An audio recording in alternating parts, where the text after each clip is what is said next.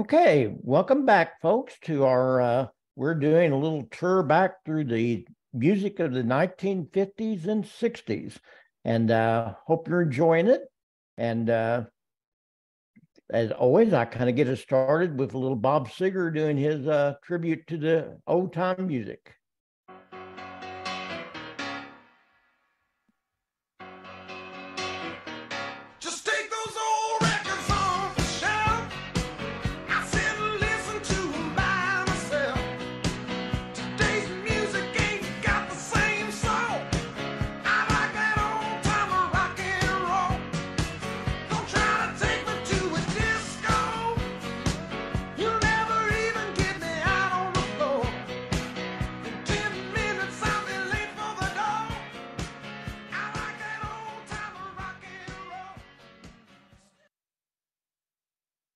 Okay, so uh, here we go.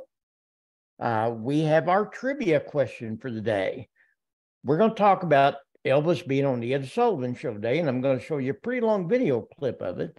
But my trivia question is what was the last song Elvis sung on the Ed Sullivan Show? Not only shocked his viewers, but kind of won a show of praise by Ed Sullivan. So see if you can guess.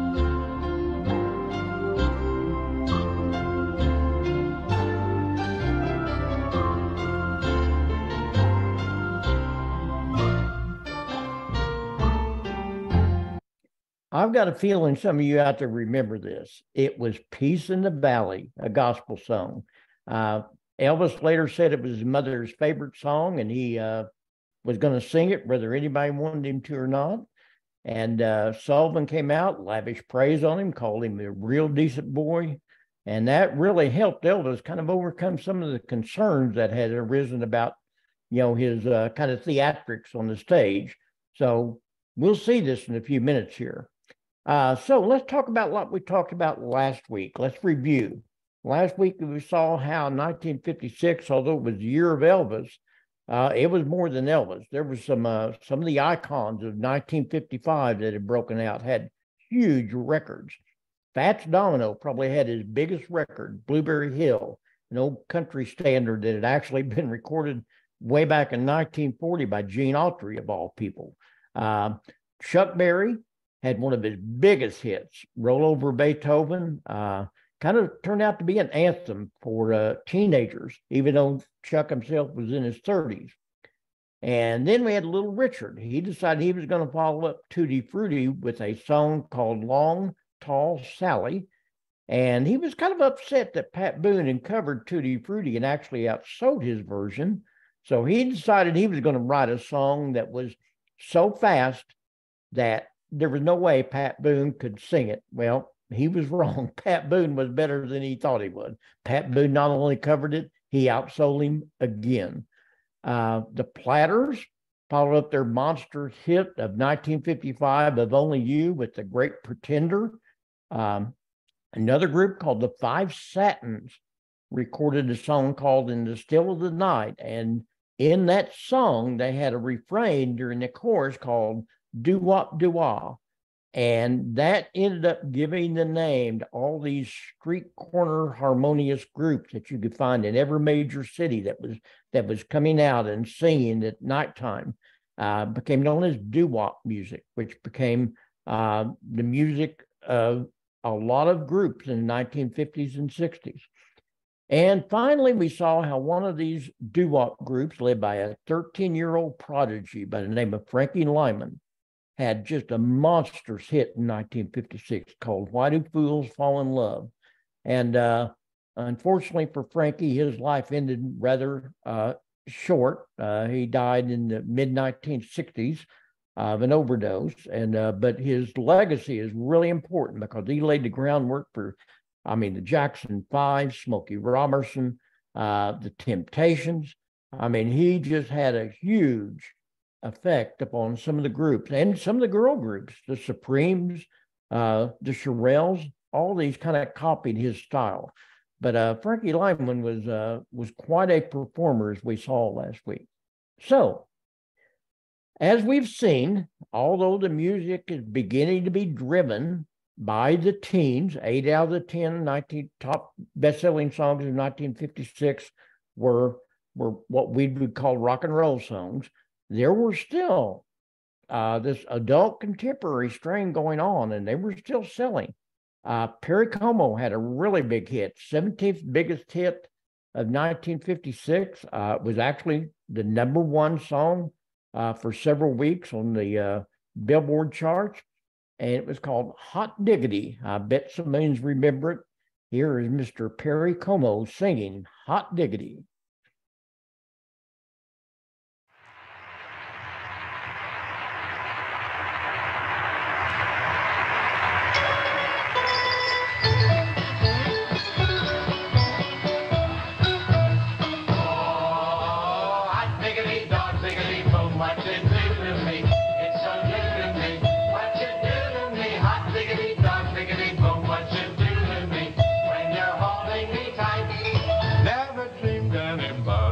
Kiss that away, bring me bliss that away, with a kiss that away. What a wonderful feeling to feel that away.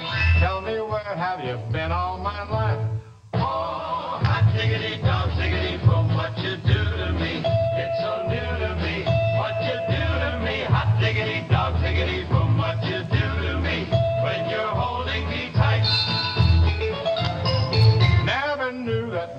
my heart could go zing that away, ting a ling that away. Make me sing that away, say goodbye to my troubles. They went that away ever since you came into my life. Oh, hot diggity dog, diggity boom, what you do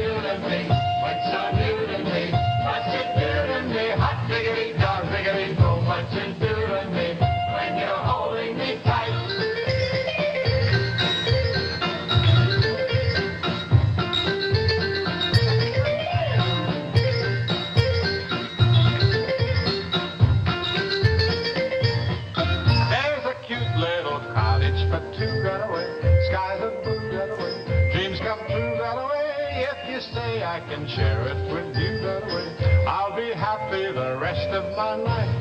Oh, hot diggity dog, diggity boom,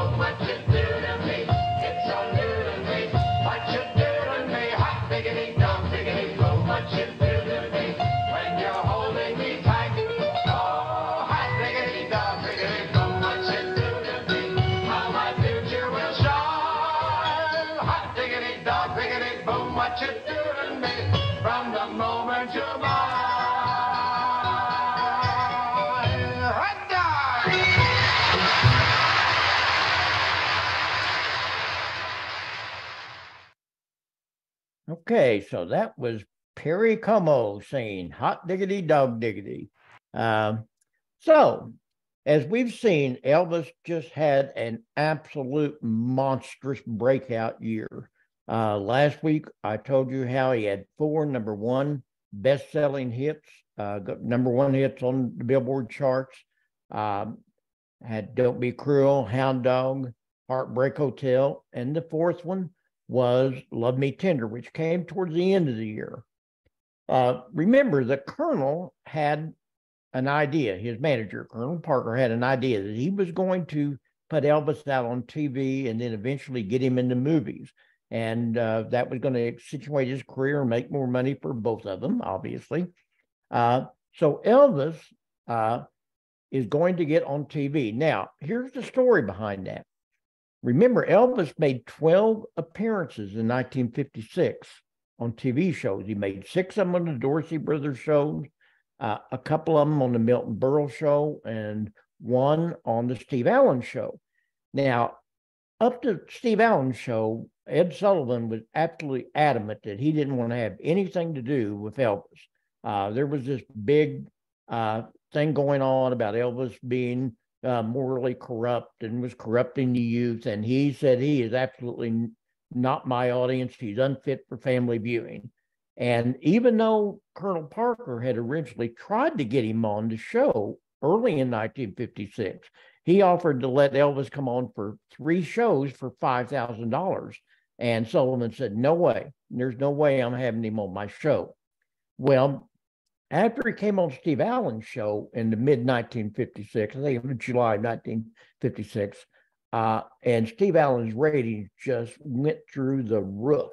In fact, Casey was Sullivan's big rival. And it was kind of like Letterman and uh, Johnny Carson back in the day. And all of a sudden, Ed Sullivan changes his mind. He decides, well, maybe I better get on the bandwagon here, or I'm going to get shuffled out. And so he calls up the colonel and he says, Hey, I've changed my mind. I would be glad to let Elvis come on my show for three times for $5,000. And Parker said, Well, that's real nice of you, but it's going to cost you $50,000 now. And Sullivan paid up. To tell you how big that was, folks, eight years later, Ed Sullivan would only pay the Beatles $10,000 for three appearances. Uh, that's how big this was to Ed Sullivan to get him on his show. Um, his first appearance occurred in September of 1956, and according to legend, he was filmed only from the waist up. But but that wasn't the case. If you go back and look at the films, it showed him totally, uh, you know, body. Uh, his final appearance in uh, in November, pardon me, January of 1957 was seen by 60 million viewers. That's an 82% share of the viewing audience. Folks, that's a, I don't know that anyone's ever had a bigger TV appearance than Ed Sullivan, uh, than Elvis on Ed Sullivan. Uh, I mean, it was just a gigantic thing. I, I remember very clearly, I would have been about nine, close to 10 years old when he came on Ed Sullivan those three times. And I remember watching it. I mean, I couldn't wait to see him. Neither could my mother. She was so excited to watch Elvis on Ed Sullivan. My dad, not so much. He was a big Hank Williams fan, and he just thought that uh, Elvis was just uh, it wasn't his cup of tea. Well, surprisingly, Elvis came out at the end of the show, and I don't know that Sullivan knew he was going to sing this song.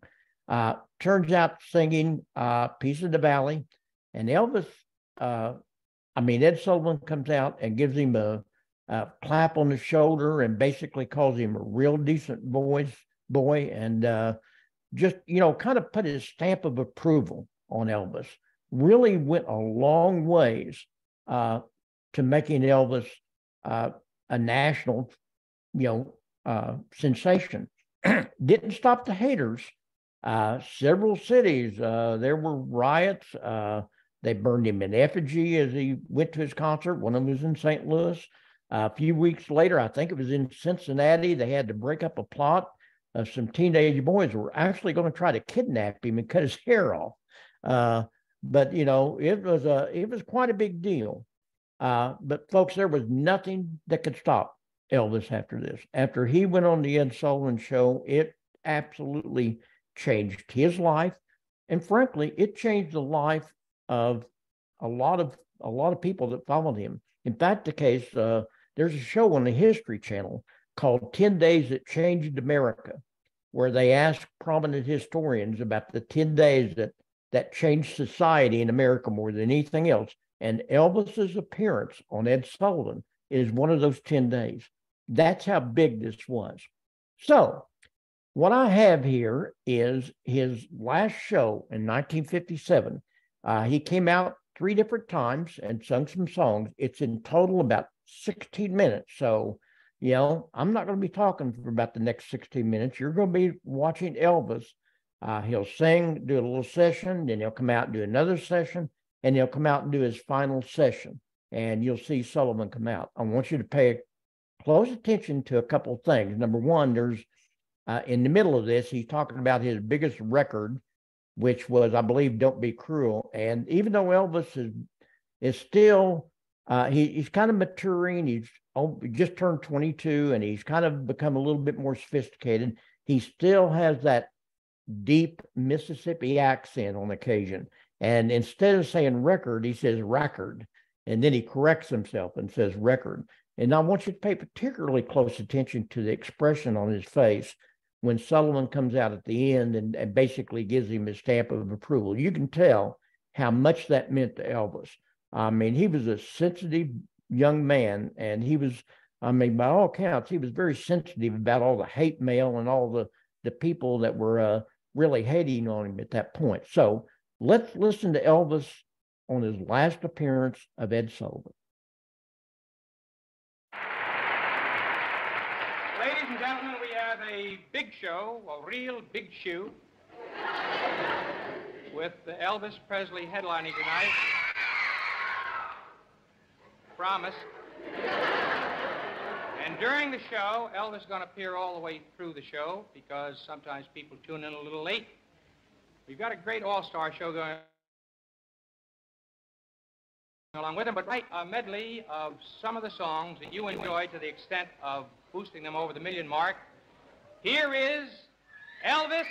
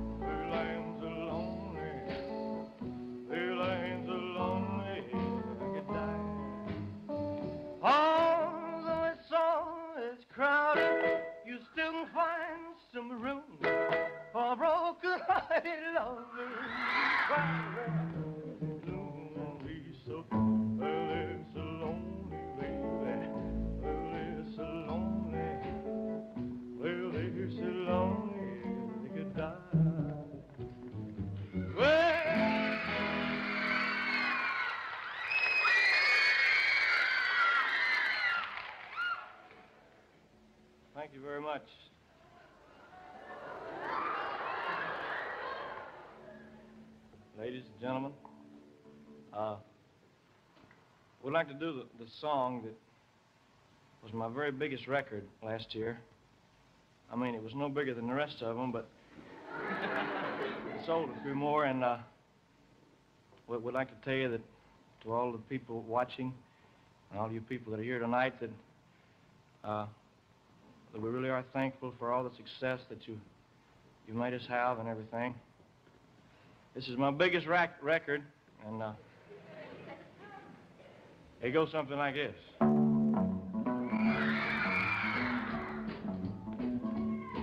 You know I can be found sitting home all alone. If you can't come around, at least please a telephone.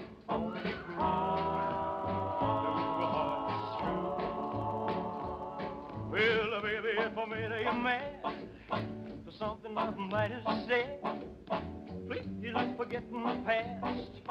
The future looks bright ahead. Don't be cruel.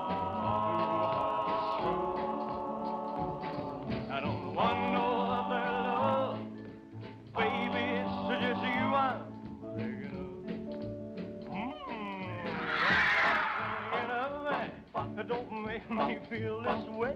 Come on over here and look me. You know what I want you to say. All.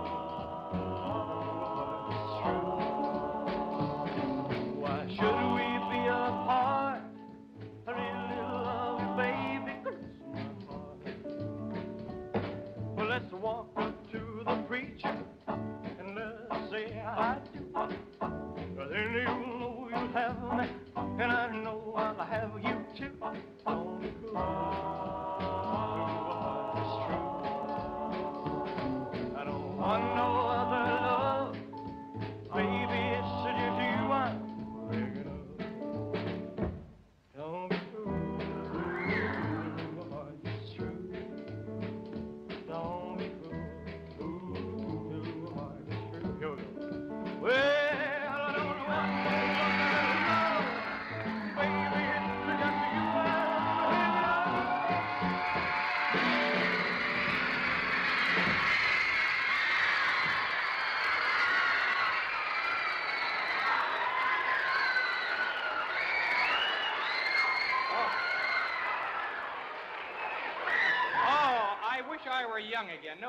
That's wonderful to be that way.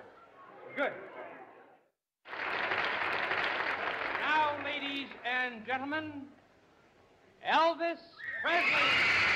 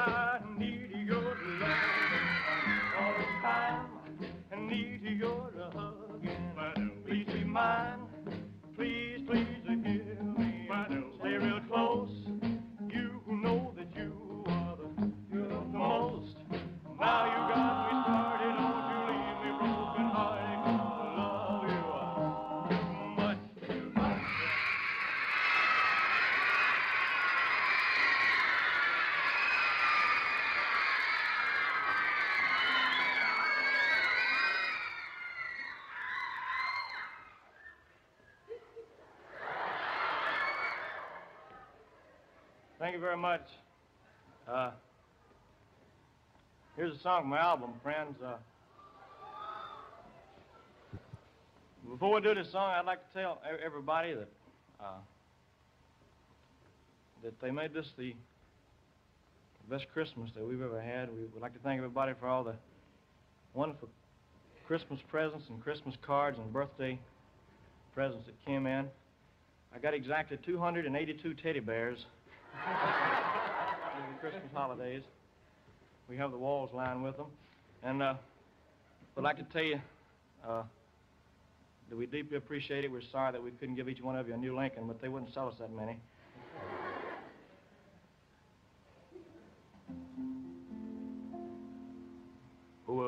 My blue.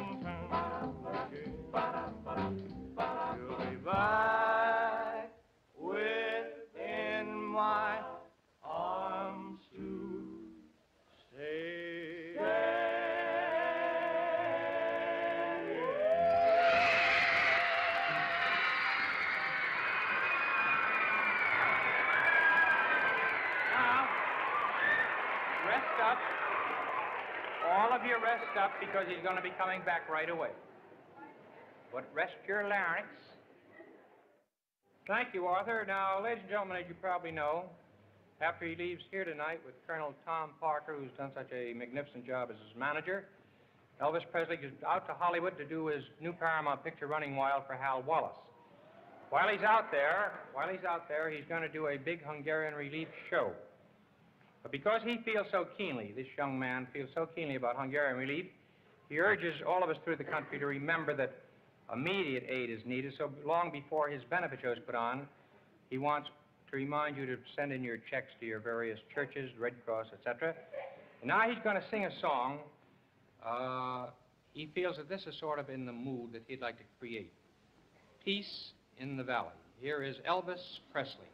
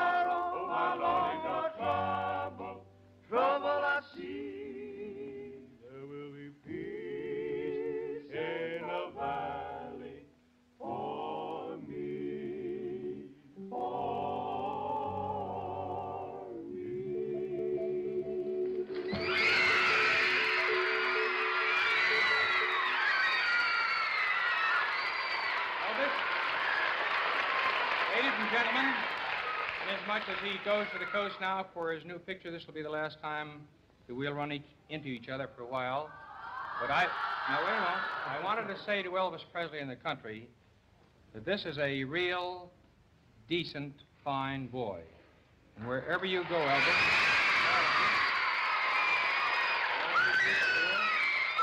the guys who accompany you over there, we want to say that we've never had a pleasanter experience on our show with a big name than we've had with you. You're, you're thoroughly all right. So now, let's have a tremendous hand for a very nice person.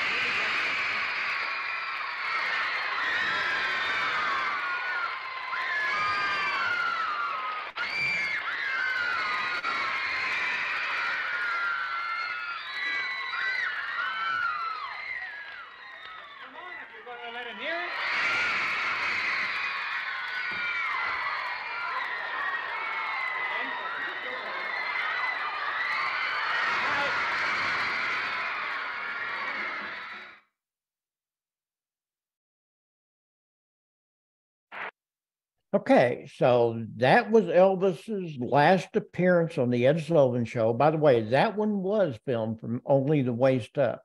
Uh, his first two, they showed him in body, but that one was only the waist up. I, I hope you really caught the expression on Elvis's face there towards the end because you could tell just how really uh, important that was to hear Ed Sullivan say that. And I'm not for sure he knew he was going to do that. I think that was probably something that Sullivan had not told him he was going to do because he was uh, he was really shocked, as you could tell. Now, uh, Elvis, uh, in between doing the Ed Sullivan shows, had been out in Hollywood uh, making a movie, uh, not a real big part. Um, he had always wanted to be a movie star. In fact, his biographers, I've read several biographies of Elvis, and every one of them say that his end game all along was to be a movie star. He he saw his singing as just a vehicle to get to the movies. He never really thought he was going to be that big a singing star. He wanted to be a movie star. Uh, he emulated the uh, actors he was fond of. Remember, he worked as an usher at the at the theaters when he was uh, in high school. He loved Robert Mitchum. He loved Tony Curtis. That's when he began to dye his hair black. Remember, it was kind of a dirty blonde. Uh, he began to use that little spit curl uh, that he had there for a while, and uh, he wanted to be a movie star. Uh, he said in interviews, he said he wanted to go actually attend the Actors Studio in New York City, which was considered to be the the greatest acting school at that time, and um, he wanted to be taken seriously as an actor. Unfortunately, uh, Colonel Parker had a different agenda Colonel Parker wanted to make money, and that's all he cared about was making money. Well, I won't say that's all he cared about, but that was his big thing was making money. He just wanted to put Elvis out there in these uh, vehicles of movies that just they were all the same. They were uh, they were the same movie, different setting, different songs, and uh, Elvis they got worse and worse and worse. A few of them were okay. Jailhouse Rock was not a bad movie by the critics. Uh, Viva Las Vegas is considered maybe his, his best movie, uh, mainly because the chemistry he had with Ann-Margret, because there was, you could tell that those two really had a connection there. Um, screen tested for a lot of movies in front of a lot of producers, and they all were very impressed with him. Uh, one drama coach said he was a natural born actor. He probably could have been as good an actor as as anybody in the 60s had he had the opportunity but unfortunately that wasn't to be. His first movie was a Hal Wallis production which produced many of his movies. Uh, it was set in the civil war and uh, it originally had been called the reno brothers and uh, where a group of brothers were involved in the war and one of them had gone off to the war and uh, at the end of the war actually the day after the war ended he actually stole a uh, a gold shipment from the uh, uh, Union rail car, unbeknownst that the war ended, and he became a hunted man. He finally decides to come back home to marry his sweetheart that he had left, only to find out that he had that she had married his younger brother, Elvis. Uh, and uh, it was quite the thing. turns out that Elvis ends up uh, getting killed at the end of the movie. They recorded this song, Love Me Tender, which was nothing more than a remake of an old Civil War song called Aura Lee. Um, same, same tune, different words. And uh, as a result, uh, you know, if they decided that since the song took off before the movie actually came out, uh, actually had a, a pre-order sales of a million copies. That's before it was even out on the racks. Uh, that was something never been heard of. And so they wisely decided to change the name of the movie to Love Me Tender instead of the Reno Brothers.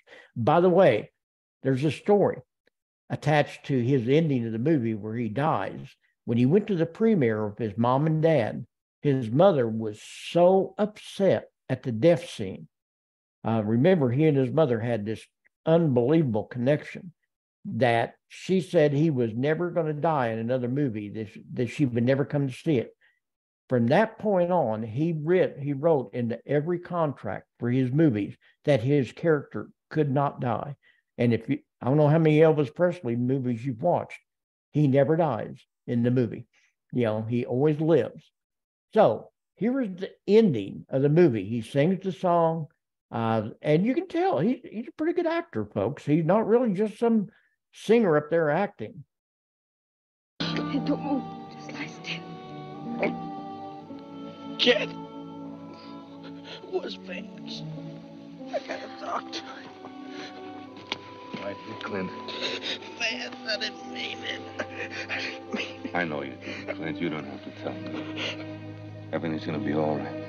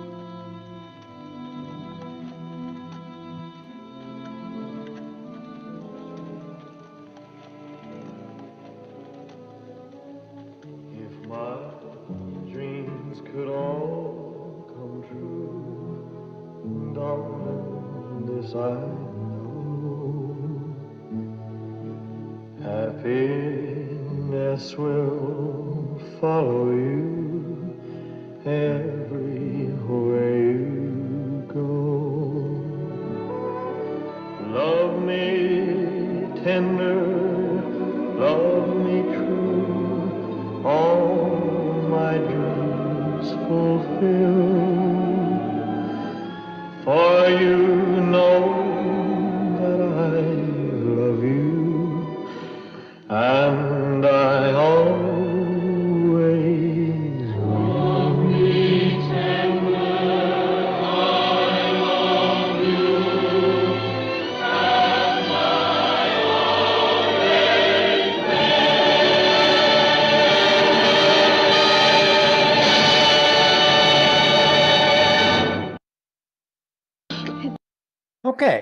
One last thing, and then we'll stop for the day. Um, probably no better way to end this than talk about the Million Dollar Quartet. Now, I don't know how many of you know about the Million Dollar Quartet, but just after uh, finishing the movie and before he did his last appearance on Ed Sullivan, uh, Elvis came back to Memphis where he was living, and he decided to go down to Sun Studios to visit Sam Phillips, even though he wasn't under his contract. He gets down there and uh, meets up with Carl Perkins. Carl Perkins, remember, was uh, the big Sun Studio star at this point. We'll talk more about that next week.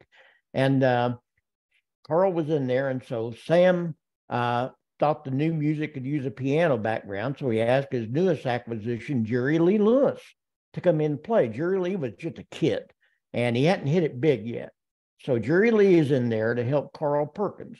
And uh, Elvis shows up with his latest girlfriend, a girl by the name of Marilyn Evans. And in the process, in watched Johnny Cash. So here you have four people who end up being four of the biggest stars in rockabilly music and rock and roll music uh, for the next 20 years. You've got Elvis, Carl Perkins, Jerry Lee Lewis, and Johnny Cash. Just it was just an impromptu arrival. So they start jamming, singing primarily, believe it or not, gospel songs because that's what they all like. They all love gospel music. Well, Sam Phillips had enough sense to realize not long after they started singing that maybe he ought to tape this. So he turned his tape recorder on and taped it. Uh, I think there's about 29 minutes of it uh, that he ends up taping. Uh, after a few hours of singing, Lewis kind of went to the piano and started banging away, not gospel songs. And Johnny Cash said later, no one wanted to follow Jerry Lee, not even Elvis. So they just all drifted out and went away. Well, the tape was basically stored away and nobody even knew it existed until 1969 when the new owner that had bought Sun Studios from Sam Phillips found them in a file cabinet. And he immediately realized what he had. And so he kind of put it back and thought, you know, there'll be a time when I'm going to want to use this. Later on, he released it in 1987 and named it the Million Dollar Quartet. Later on, uh, 2007, there was a Broadway production made of the event, became known as the Million Dollar Quartet. Actually, won or nominated for three different Tony Awards. Uh, and since that time, they've had several re, uh, productions and traveled all over the country. It's a permanent fixture now here in Branson, about 30 miles from where I live or so. And uh, you can go there and you can see it. Here is uh, Jerry Lee, uh, Carl Perkins, Johnny Cash, Elvis, and his girlfriend. Someone snapped a picture of the five sitting around at the uh, piano singing songs. And like I said, it was just an impromptu thing. I thought I'd show you kind of a, a, a, trailer here. It's about a minute and a half that shows you an advertisement for the Million Dollar Quartet in Branson. So here it is.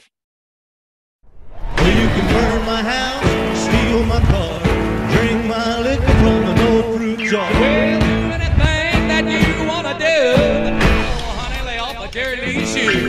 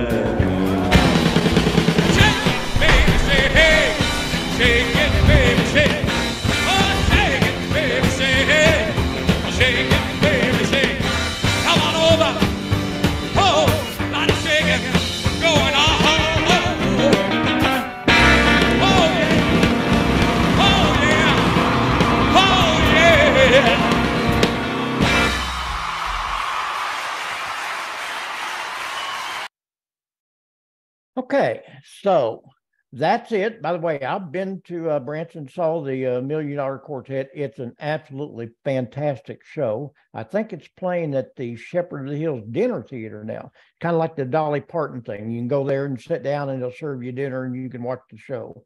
And uh, if you get to Branson, it, it's worth it's worth the price of admission. I'm telling you, it's a fantastic show if you like that kind of music.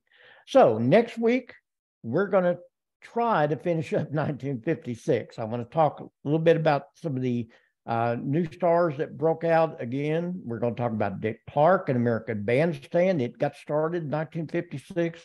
And we're going to talk about a country, couple of country music stars uh, that really kind of broke out and made it big in 1956. I think you'll recognize both of them. So that's it for the day. I hope you've enjoyed it. Um, it's been fun for me. I hope it's been fun for you. And we will see you next week uh, at 2.30 Central Standard Time.